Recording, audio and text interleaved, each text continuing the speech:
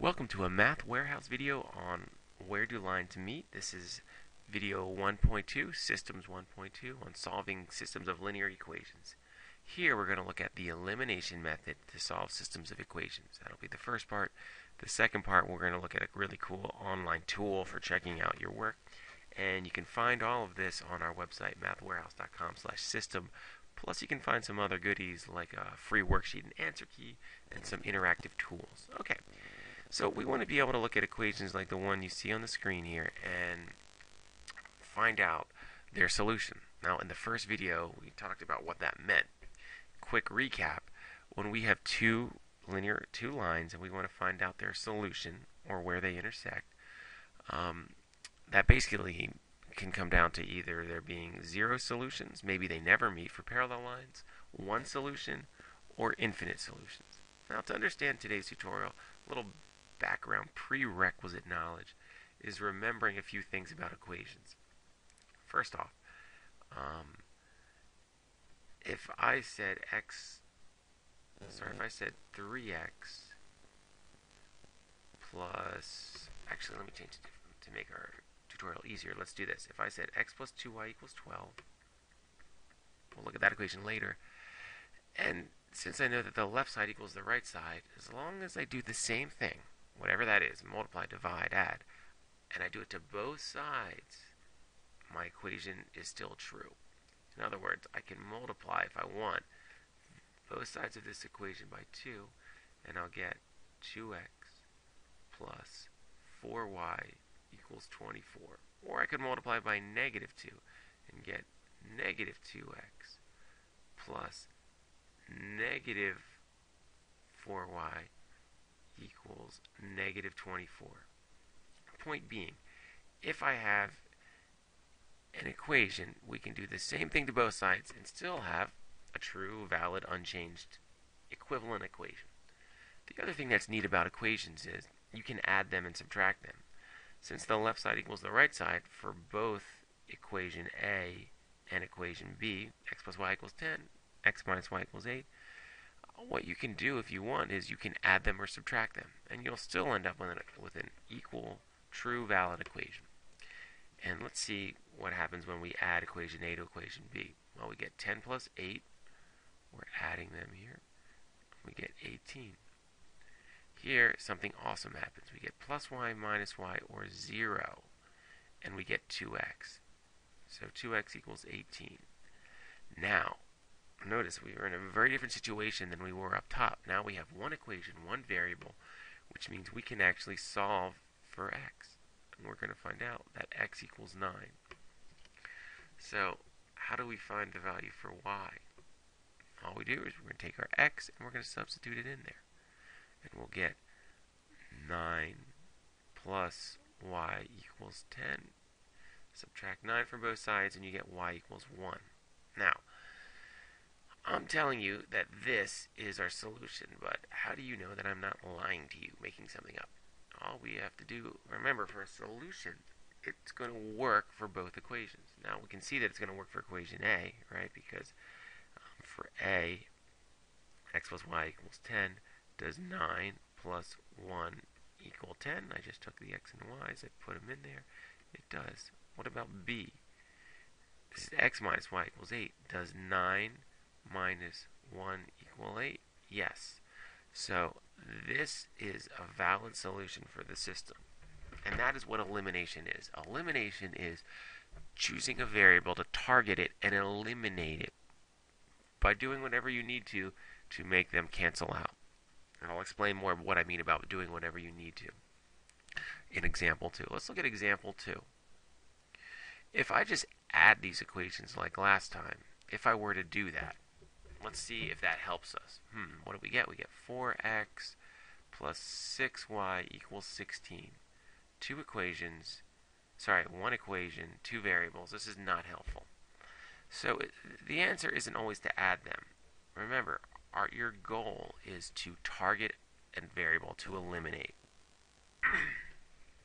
okay, you want to target a variable to eliminate. And when we just added the two equations, although it's valid math and it will end up with another true equation, it doesn't help us achieve this goal of targeting a variable to eliminate. So what you want to do is you want to look at your x's and your y's and you want to see, hey, is there any way I can make them additive inverses? It's a fancy way of saying, can I make them something like this? Like here's examples of additive inverses. 3 and 3, negative 3, 5, negative 5. Um, over here, y and, sorry, y and negative y. They, notice they were, when we added them, they became 0. When we add 3 and negative 3, we get 0. So, hmm, neither one of these on in and of themselves is an additive inverse. However, remember, we can multiply uh, both sides of our equation by any number and get an equivalent valid equation. In fact, if we multiply the top by negative 2, look what we get. Negative 2x, negative 4y and negative 4y and 4y do indeed add up to 0 and help us eliminate the y variable. So that's what we're going to do. We are going to multiply the top equation by negative 2. You see the work we did earlier. And what we end up with, let's rewrite our system. We end up with negative 2x plus negative 4y, or just negative 4y, of course, you can write it either way, equals negative 24. And the same equation on the bottom, 3x plus 4y equals 4. Now, what do we want to do with these equations? Now we're in this uh, situation where if we just add them, life is great because these guys have been targeted and eliminated. 3x minus 2x gives us x uh, and x equals negative 20. Okay, so step one is to target a variable to eliminate and multiply or do whatever you need to do to make um, to make the one variable that you target be eliminated, right? You want an additive inverse. And if you remember what we did after that is we then, the second step is to substitute, right? We've got an x of negative 2, and we can put that into either equation to get our y value. I'm liking the top equation here because um, it's a nice simple 1x. So we've got negative 2 plus 2y equals 12. Just have to solve for um, for 2y, right? Let's add 20 to both sides. Plus 20 plus 20 gives us 2y equals 32. Divide both sides by 2. y equals 16. So our solution is x equals negative 20 y equals 16. And, you know, you can verify your work by substituting these into both equations. You can put the x here, the y there, and the equation should work out. You can take the x here into the into this and the y substituted for that, and it should also work out. And it does work out. I, I won't waste your time by re-verifying it, but that's the general approach. Let's try another example or two. Quick recap. Target a variable to eliminate. Look for look for an equation or look for a variable where it's like, oh, you only need to multiply by one thing. Like in this case, it was negative 2 with the x, sorry, with the y, so that we could eliminate it. Once you've then added the equations and eliminated the variable, you solve for that variable. Um, in this case, it was simple. It was just x equals negative 20. It was immediately solved. Substitute in the, the, the variable's value into either equation. Get the second val variable's value, y for us, and that's your solution double check it if you want to verify um, that everything went well. All right, let's look at um, the hardest example that um, we're going to look at today, I think. Example 3, 2x plus 3y equals 10, 3x plus 4y equals 18. So remember, step one is to target a variable. so you look at this and you have to ask yourself, is there any variable that's just begging to be eliminated? And not really. Notice this is a little different from the prior examples where here the y's were set up to be eliminated. Plus y, negative y. All we had to do was add, variable eliminated. Here, 2y and 4y, well, it was easy. We just multiplied the 2y by negative 2 to get our additive inverse. Here, there isn't anything that you know, is, it lends itself so easily to this. So what you actually have to do is choose either variable. It really doesn't matter. Let's choose the x's. And how can I get them to be additive inverses? Well, I've got a 2x, I've got a 3x.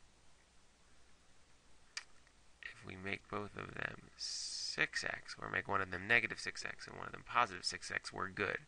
So what do we have to do here? We have to multiply the top by 3, or negative 3, actually. Top equation by negative 3, the bottom equation by 2. Then we will have our nice additive inverse that we, that we want. Okay. So all we have to do is multiply negative 3 times each term. Don't forget to distribute. And this top equation becomes negative 3x minus 9y equals minus 30. Sorry, negative 3 times 2 should be negative 6x. Let me fix. Okay, I quickly fix that. Negative 3 times 2 is actually negative 6x. Negative 3 times 3, negative 9y. Negative 3, 10, negative 30. 2 times the entire bottom equation. 2 times 3x, 6x. 2 times 4y is 8y. 2 times 18 is 36. And now we have our nice 6 and negative 6, and all we have to do is add them. The 6's go away. Negative 9y plus 8y is negative 1y equals negative 30 plus 36 equals 6. So multiply both sides by negative 1, and we'll have y equals negative 6. So now we can take this y equals negative 6 and substitute it into either equation to, to solve for x. And I'll, I'll use the top equation. So 2x plus 3 times negative 6, just taking this, putting it in there, equals 10. 2x minus 18 equals 10. Let's add 18 to both sides. So plus 18 plus 18 gives us 2x equals 28. Divide both sides by 2. x equals 14. And that's our solution. x equals 14. y equals negative 6. Now let's quickly recap this method. Um, your goal is to target a variable. Right? A variable that you're going to eliminate. Best case scenario is you have variables with the same coefficient or or positive one and negative one. Um, they're very easy. You can just, all, in this case, like you have example one, you just add them and you get rid of the first variable. The second base case is where you simply have to multiply one equation times something. Here we had to multiply the top equation by negative 2 to give us the nice 4y and negative 4y that we wanted. And the least favorable case for elimination is when there are when when our variable coefficients like the 2 and the 3 and the 3 and the 4 here just don't lend themselves to this method. And what you actually have to do is you know multiply the top equation by some number like negative 3, bottom equation by a different number type like 2 to get what we want. And then it's simply to substitute the solve variable into the, an equation to get the second variable's value, and that's your solution. Alright, so I want to show you how you can check your work for solving any kind of system equation with this awesome free tool, metacalculator.com. Okay, just go to www.meta-calculator.com. What we want to use is the Scientific Calculator's equation solver. Now this thing is awesome. You can enter any set of equations in here, hit the solve button, right, a little bit below, you'll see it's right where my cursor is, but a little, it's right here. You can't see it because of the screen size. Um, and bam, your solutions will be shown to you. Okay, so I quickly entered the two equations we just solved. 2x plus 3y equals 10, 3x plus 4y equals... Oh no, we didn't do these. These are two different equations. And if you want to find the answer, all you do is hit the solve button a little below the what you can see, and there you go. The solution is x equals 14, y equals negative 6. So this is a great way for you to check your work whenever you're trying to solve systems of linear equations. You can enter the two equations in, whatever they are, in whatever form you want, and then hit the solve button, and that's your solution. Alternately, of course, you can go to the graphing calculator, and you could graph the two equations